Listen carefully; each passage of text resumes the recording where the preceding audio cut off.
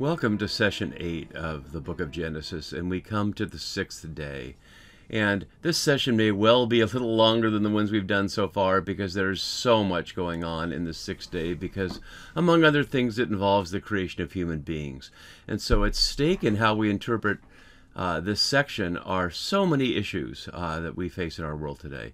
The relationship of male and female as humans, the relationship of humans to God, the relationship of humans to animals, the relations of humans to the earth, uh, and so much more. Um, so we'll try to be careful to keep this within the cultural context of its time, as we've been doing, especially in the idea that this is a counter story to the Babylonian Enuma Elish, which will continue to be manifest here, as we'll see but also with one eye and ear at least to the realities of how misreading this text in accordance with later Christian or other understandings can lead us to a radically different set of relationships with the world around us than what the Genesis authors had in mind. So let's begin as we've been doing, looking uh, at the chart that shows us the structure of this uh, section uh, as we've been doing that throughout the whole time. So you can see here on the sixth day, excuse, sorry for that, and the sixth day corresponding to the third day, so on the third day the land appeared, the dry land appeared, and vegetation appeared, which will now be shown to be food. This will be the first time we're hearing an explicit uh, description of some of what God has created as being intended to nourish other parts of God's creation. It was obviously implied with plants with a seed in it and such because we eat those things, but it had never been specifically named. So we'll see how um, God is not only setting up creatures, including human creatures, but setting up a regime uh, of how to continue uh, within relation to each other. And we'll see, perhaps to our great surprise, depending upon uh, how closely you've read this before, that God's intention was that all creation be vegetarian, that no animals would be predatory, that animals would not eat other animals, and certainly humans would not eat animals. So if you imagine the image of a peaceable kingdom of the lion laying down with the lamb and such, which is so counter to what we've experienced, um, that's based more on the vision that we see after the flood, where the dread of humans is put on animals. But as we'll see, that will be a function of human disobedience, not God's intention in the first place. Um, the original intention was that everything get along under the divinely authorized and inspired rule of humanity over the rest of creation. Uh, and that can be tricky, as we know, so we'll get to that in a few verses. So let's go back to the beginning of our text here, and the Hebrew is going to be very important, so I want to keep that up as much as we can today, um, because translations can be very misleading always, but especially in this section. So, sixth day, and God said, Let the earth bring forth. So this is parallel, as we saw to verse 20, the same exact start here, as the earth is bringing forth vegetation. Now the earth is bringing forth animals of various kinds. And so we could ask why the Genesis authors chose to describe all of animal life in these categories. At one level, we can't know the answer to that, but looking closely, we can see what they did intend to describe, which is a little different than what we hear in most translations. So bring forth living creatures, in that sense, generically, things that are alive. The uh, Nefesh Haya uh, that we saw earlier and that we'll see again, the, just the very definition of uh, creatures that are alive. Um, and again, according to kind, so celebrate this diversity. But then, after every kind, we hear some specifications. Cattle, the Hebrew word is behema, um, which doesn't necessarily mean cattle like oxen and cows, although it can. Um, but as many authors have noted, the distinction here is, seems to be between domestic and wild animals. Um, and we could do a whole series on why some animals are domesticated and not, and when that happened, etc. Just for instance, why cows and horses but not zebras? why are horses domesticated but not zebras? Uh, and one could ask similar things about many other cattle-like things like elk um, and others that we don't tend to uh, gather for their meat or their milk or, or anything else about them. Um, but we're not going to do that in this series. We're just going to try to focus on the language, and I would encourage you, if you're interested, to explore that uh, more, and I'd be ha happy to provide sources either in the comments or in response to your inquiries. So, domesticated animals, key to settling in in a human situation.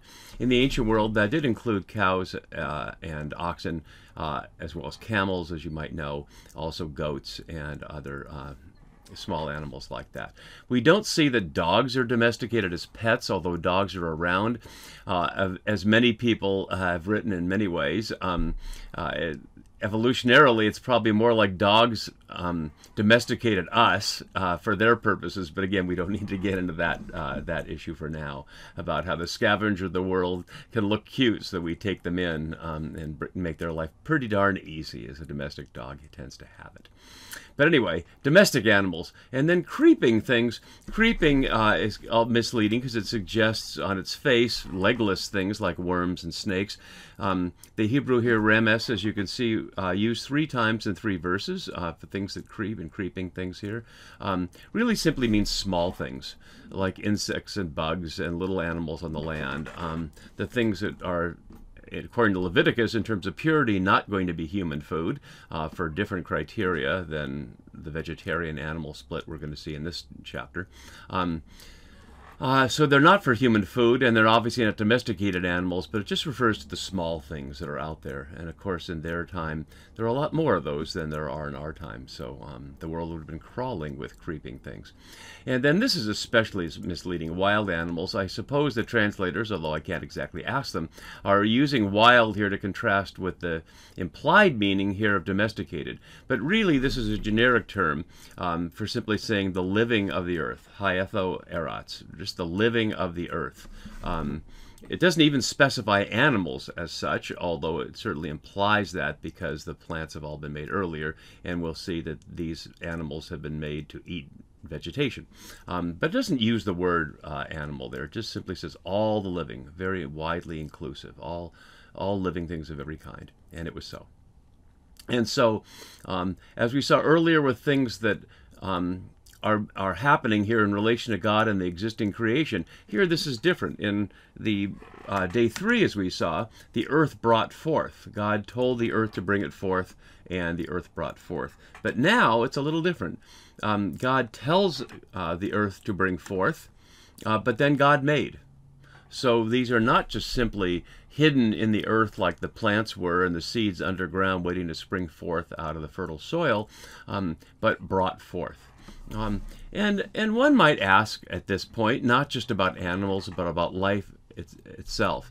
Um, yes, the Genesis story was not written against Darwin, because obviously that uh, was much later. But I still face many students, college students, and maybe you have friends or neighbors um, who are suspicious about the Bible um, because they think it doesn't take account of uh, evolution and uh, how things came to be in the order that we know things. Um, but one would ask somebody who's concerned about evolution, and I'm certainly not excluding, I'm certainly including here the sense that evolution is part of how God makes things to be. This is a poem, this is not a factual description, as we said early on. But still, from a purely scientific perspective, how does life begin? Is a question that science can't answer. Uh, how does inorganic chemistry become organic? How do uh, elements that are simply sitting there, not sitting there obviously, but bouncing around energetically, um, but just simply bouncing off each other or combining electrochemically, become self reproducing things that we call life. Uh, there's a wonderful Radiolab piece on the question of how that might happen, but the reality is we don't know. It's a huge leap. And Genesis is here simply saying the Creator made it happen. Uh, and to my mind, at least, that's as good an answer as any we can get. Um, if you have a better answer, happy to share it have you share. So God made now, again, using the, the, we saw earlier of God's direct making, the animals, again, it's no more wild here, it's the same term as there, uh, in reverse order here, but not quite reverse order, as we'll see. It, it starts with the end, but then it goes to the cattle and the creeping, so it's inverted and mixed a little bit. It's an unusual pattern. It made all the living of the earth and the domestic animals and everything that creeps and saw that it was good. And one might think it was over there because that's the pattern we've seen, but the sixth day is far from over. And of course, uh, what has to be made still to complete this is us.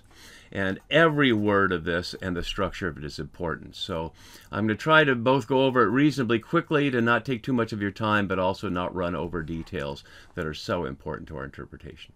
So then God said, Let us and of course, this is the first time we're seeing this. We'll see it again here in 322. Um, uh, the sense of God is like one of us here. And for those who are uh, involved in the source uh, perspective, this here in verse 22 in chapter 3 is a Yahwist text, according to traditional understanding, the Garden of Eden stories we'll soon see. And the passage we're on here is a priestly text, so presumably by different authors in different times, and yet they both use the us, which is rare um, here. There are many theoretical explanations, and really not even theoretical. It doesn't even come to the level of theory. In most cases, it's purely speculation. And most of that is either just simply guessing or using data that the authors wouldn't have. For example, uh, you can see on the screen here Klaus Westermann summarizing the explanations that were prevalent when he wrote his book in the 70s and 80s. The early church thought it was an expression of the Trinity. And they certainly did do that. Westermann is right that the church, early Christian writers, did think of this as the Trinity, but certainly the Genesis writers were not thinking that. There was not then, nor is there now, any sense of a multiplicity in God's own essence. Um, Trinity is a much later notion. Um, so the us isn't, you know, Father, Son, and Holy Spirit, at least as far as we can understand the Genesis authors thought that. Um, it could be many other things, but the reality is we simply just don't know. And I'm happy to leave it here at this point like we don't know, so that when we see other examples of it later, um, that'll give us a little more data to work with. Um, but there's an us, and obviously the authors were not worried about that. Um, whether that's to the heavenly court or things like that, one could argue. I won't take a lot of time on that one. But let us make, and so the making here is a collective. And note the different uses of words here. Make here, um, nasa from the verb sha, um, contrasted with created here, which is the same created um, bara as bereshit at the very beginning, and uh, we saw it one other time. So make and then create. Uh, subtle difference there, but creating is usually the term used for something that's special here, and certainly it is special. So let us first make humankind. And the Hebrew here is Adam, and it's plural, and so that leads to um, all kinds of questions. We'll see when we get to uh, the Garden of Eden story, the um, uh, Midrash, which refers fascinatingly to the idea that this original human was two-sided, two-gendered, male and female, like a Dr. Seuss, or Dr. Seuss, not Dr. Seuss, Dr. Dolittle character. Um, and that will go against the idea that modern feminist interpreters had to argue strenuously for that man was created first and woman afterward. But this is generically humankind, and the, and the word Adam at this point does not mean a male human, and we'll see explicitly it doesn't in just a moment. Um, so let us make humankind, this new kind of creature, in our image. Um, and it's also according to our likeness. And one of the questions, as we saw earlier with several other passages, starting with Tohu Vabohu uh, in verse 2, is this a hendiadys? Is image and likeness one thing, or is image one thing and likeness something else? And the way it's connected uh, suggests that they're related but not one idea. Um, as you can see from my notes here, some have argued down to the distinctions in uh, very small details in Hebrew letters of whether it's supposed to be according to our likeness or in uh, according to our image or in our image. Um, uh, we won't get into those kinds of grammatical details there. Um, this is what we have in almost all translations. That sense of humankind shares in the image and likeness of God. The English words, though, don't convey exactly what the Hebrew convey. They're not wrong here, but they just don't cover the full nuance. So the word for image here is tselem, um, which is used here in this passage and then echoed here in 5.3, um, almost the exact same phrase, where his son is in his likeness, in his image. So recognizing that that image that's passed on to the first humans is then continued to be passed on from parents to children. And then here at the end of the flood story, um, as an expression of why uh, killing humans is something like killing God, and we'll get there eventually. Um, so that's tselem, and the original meaning tends to be something built, like a sculpture, plastic image, a statue. Plastic here, not meaning our sense of plastic like a petroleum product, but plastic, and the original meaning of it is something that could be molded or shaped. Um, and uh, and yet uh, the word is never used for a concrete visual representation, but only for the pure image that has no concrete form. So even though outside this context, it can mean uh, a statue. In other words, human beings would be an image of God in the same way the Lincoln Monument in uh, Lincoln Memorial in, in uh, Washington, D.C. is a representation of the absent and obviously dead Abraham Lincoln. Um, it's not used that way in the Bible. And so uh, here you can see in my note from another author, um, she's suggesting here that tselem can therefore best be rendered sign. Uh, something, you know, something, uh, sign indicates something that is absent in that sense, God, that human being is, humans are put in the world as the visible expression of the invisible God. Um, that's certainly a possibility, uh, among others. Um, as Brueggemann points out, highlighting the element uh, that we've been focusing on about the cultural context of Babylon, um, this is seen as the opposite of uh, what we'd see in Enuma Elish. In Enuma Elish, humans are created as an afterthought. Um, they're there to do the dirty work of running a city, that is to say, civilization that's beneath the dignity of a god, whether that's to grow food in the hot um, Mesopotamian desert. Uh, before it was a desert, of course, uh, because of doing that too much, but it was still just as hot. Um, so whether it's uh, growing food in the heat uh, or cleaning out the waste products of the city or just doing the stuff that most humans don't want to do, especially elite humans, would rather either pay or enslave someone else to do, Enuma Elish has humans made as this afterthought to to take care of the physical needs of the city. Um, Genesis is the, almost the exact opposite. It has humans raised up above every other element of creation, pretty much to the level of a god, except. And of course, that will be the tension throughout the Bible and throughout human history, is a, a creature that is aware of itself, can become and choose to be aware of the presence of its creator, and yet is not the creator. Um, somehow like animals, are animals, and yet not animals. Somehow like God, but not God. That's the fate of humans, and Genesis expresses it in this beautiful, powerful poetry here. So that's image, and then likeness here. Demuth, um, as the same writer we looked at earlier, um, noted uh, not separate concepts, but a deepening concept. Um, so Demuth here um, has, has the image of being, as it suggests, like something um, something that's similar to something else. Um, but wonderfully, curiously, and perhaps frustratingly, it doesn't say what is like humans and like God. And so speculation can run rampant. Early Christians focus on Platonic uh, philosophy, to say early Christian writers, not the ordinary folks in the ground, uh, not surprisingly interpreted this through their Platonic lens as seeing it was a logos, that humans share reason with God, and therefore that fits the Platonic chain of being that puts humans above all the rest of creation uh, because of our free will and our reason. Um, but it doesn't say that here. Plainly, it's not a matter of physical resemblance, um, although God is described in human likeness in many ways, including obviously having a voice and speaking and having an arm. But I'm sure, as all scholars would be nowadays, that uh, those were metaphorical uh, in the sense that the authors didn't think that God literally had hands and a mouth, etc. Um, so uh, you can imply that it's physically, that God is somehow physically like us, but we obviously can't answer that question, and it's certainly not likely given that God is not a creature um, you know, in the world, but the creator of the world who's present in it, not something that's an element of it itself. So, so it's just wonderfully, fascinatingly left wide open, and countless poets have written about this. Um, I'll put in the notes here uh, a book by um, a scholar who's a friend of ours uh, on the Imago Dei, as it's translated. Um, uh, from the Latin, uh, and what that implies about human life in general. Um, it will also have powerful links to other parts of the Bible, and it will have po a pointer that most Christians are probably not familiar with to the question of Jesus' authority, because it will connect us to the powerful apocalyptic passage of, of Daniel 7, where Daniel's vision shows a series of kings as beasts, as rapacious, terrible beasts with claws and teeth and destroying things, only to be replaced um, by one like a human being um, who is given authority, which is to say the Daniel 7 text is echoing Genesis 1, which is to say, yet again, that for a human being to reign with God's true authority, they must rule as God would rule, not as the beasts, the apocalyptic beasts described in Daniel 7 rule.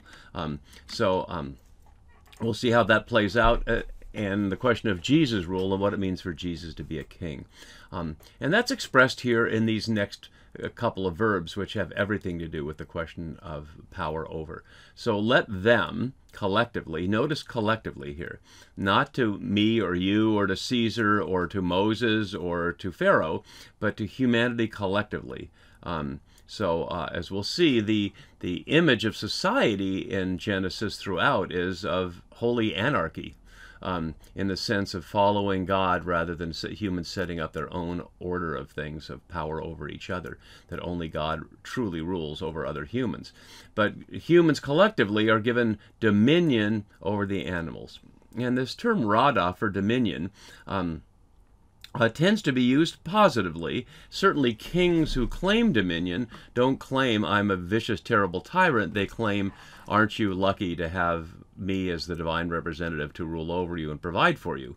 Um, and certainly throughout the Hebrew Bible, that's the image of God's rule, that God provides for humanity, whether that's, as we're going to see in this very day, by providing food and uh, a good place to live, etc., uh, everything we need um, but also by um, practicing justice and requiring humans practicing justice, by enforcing the covenant, um, by allowing the prophets to speak against those who would uh, hurt other humans or hurt God's creation, and to make sure that that dominion included both provision uh, and justice. Um, and so, as humans, then we're delegated the authority to provide that for the rest of creation. Um, um, and we'll see another verb before I say a little more about it. We'll see this about subdue here, so we'll come back to that in a second. And it's over all the animal world. So the fish of the sea, the birds of the air, and the land animals. So the three realms of creation that we saw in the earlier days, um, including the creeping things. It's curious that they're added as two groups of land animals after one group of sea and one group of air animals, but there they are. So to have dominion uh, over all of it. And so then we get to perhaps one of the most important verses of the Bible in connection with verse 26. Uh, and to really hear it, we need to recognize that it's a poem in three lines, which is unusual for biblical poetry. Biblical poetry, as we see in the Psalms, is usually two lines, where the second line echoes the first line, often varying a verb or an adjective in some way, but basically um, creating a poetic pair of lines. Here it's three lines, and so let's look at them very carefully so we can hear the perhaps really surprising outcome uh, when we listen carefully. So the first line is here, and again, nothing new is being said here. This is simply a, a pause for a poetic summary of what we've heard so far. So God created humankind, and again, um, this is Adam here, et ha-Adam, made the Adam, uh, made humankind in his image. That's line one. Then it's reversed, and in the Hebrew it's reversed in almost identical way as it is in English, so we don't have to look so much at the Hebrew there. In the image of God, he created them. So the words in exact reverse order in the Hebrew, the main words. God created humankind image, image, God created. God slightly out of order, but you get that there, created them. And then the crowning third line, male and female, he created them. And oops, and we have to we have to look at the Hebrew here to really recognize something important, and that's the terms for male and female. I have it here, so you can see the Hebrew, but I also have it in my notes over here. Zakar unkeva, uh, which is to say not man and woman.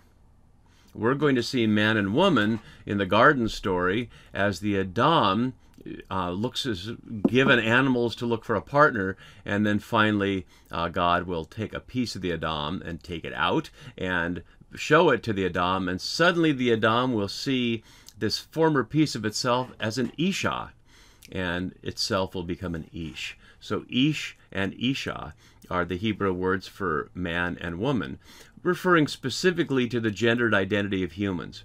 But male and female as words, both in Hebrew and English, do not apply specifically to humans. In fact, um, as we'll see elsewhere here, like in chapter 7, um, they're keeping all the birds of the air for the on the uh, ark for the flood as male and female. So all animals, in this sense, come in male and female. Um, of course, just as this chapter is not an argument about Darwin, it's not an argument about uh, gender stability against modern notions of gender fluidity. It's just not an issue that this is addressing.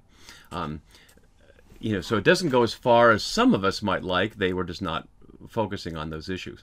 But it is saying something amazing that the image of God is male and female, not man and woman Really important that we hear this. The image of God is not to say that when you see a, a man, a human man, and a human woman together, that makes the image of God. Uh, it's saying that maleness and femaleness are elements of the image of God that are reflected in humanity. So, what is maleness and what is femaleness? Obviously, at the most immediate level, that's um, elements of sexual reproduction. Um, but even in English nowadays, we use it to express the, the deeper, most root sense of that. For example, piping uh, or electrical outlets. Uh, electrical cords are male if they have the part that goes in, and the outlet is female because the part that receives. Similarly, with a with a pipe, the part you screw in, which is I suppose just an accidental coincidence of language, there is the male part, and the part that's screwed, so to speak, uh, is the female part. And we used to discuss the very practical reality that sometimes you have to take two separate things and put them together for there to be a flow, whether of water or electricity in the examples I just gave. Uh, but in this sense, the flow is relationship itself. Um, that maleness, we'd like to suggest, represents the element of God and of humankind that puts itself out there, that reaches out into space, into lives, into creation. What we see God doing in this very chapter of making things happen, of bringing things into being, of putting oneself into a place one wasn't before. So when characters enter other people's lives, they're being male in that sense. Um, female is the act of receiving. It's hospitality. It's um, it's taking something in. It's learning uh, for that matter, of taking knowledge into yourself as well as relationships. This is not, I want to make very clear, to say that men should therefore act male and that women should therefore act female, exclusive of the other. That all humans, in this sense, are made to be male and female, to penetrate others peacefully. We're not obviously talking about rape here or forcing yourself into somebody's life with strong or violent language, uh, and female to receive. Um, so it's not that females are to be hospitable and men are to be warriors, as in the gender stereotype we often see in the misinterpretation in Luke 10 of the Martha and Mary story, uh, as if um, Martha was doing women's work and Mary was doing men's work. Um, yes, in the deformed cultural context, that was true, but that's not what God's intending here. That's this is not about cultural roles uh, as as gendered biological beings. It's about the very nature of God that is now reflected in the nature of humankind, to both reach out and to receive. And we'll see that those are key elements of what happens in Genesis, not just literally sexually, which it will be, but for example, in receiving strangers will Abraham and Sarah together, not just Sarah, not just Abraham, receive their visitors in chapter 18? What about Lot in chapter 19 in Sodom? And uh, we'll get there eventually. So, a lot going on there in uh, verse 27 as an expression of what I image and likeness mean in verse 26, uh, as well as implicitly an expression of dominion, because it involves both um, having power over but also receiving. So, then, not nearly done yet today.